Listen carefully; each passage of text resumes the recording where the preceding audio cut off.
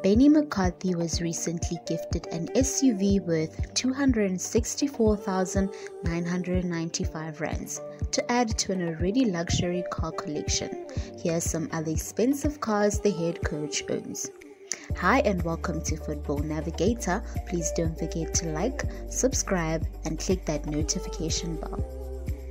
The Amazulu manager is one of South Africa's best ever footballers and is in the process of making his mark as a manager too. During the Takshishian's 20 year career in the football industry, excluding his time as a pundit, Benni earned himself a decent living that has allowed him to buy the wheels he desires. Unlike others who prefer to regularly show off their cards on social media, the outspoken manager prefers to keep his prized possessions to himself, which leaves us to assume that on the few occasions that he has shown off a car, the motor could belong to him. The most expensive car in the list includes a Bentley Continental GT, which is valued at 3.8 million, according to cars.co.za.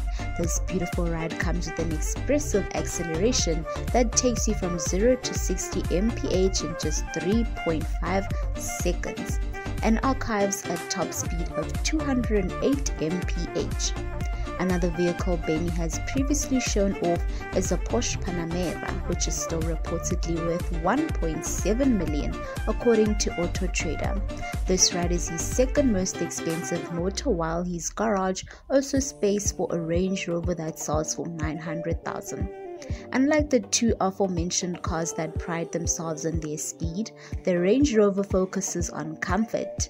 Lastly, the list of motors includes a Jaguar F-Pace 4x4 worth 1.4 million that Benni scored 2017 when the brand decided to sponsor him.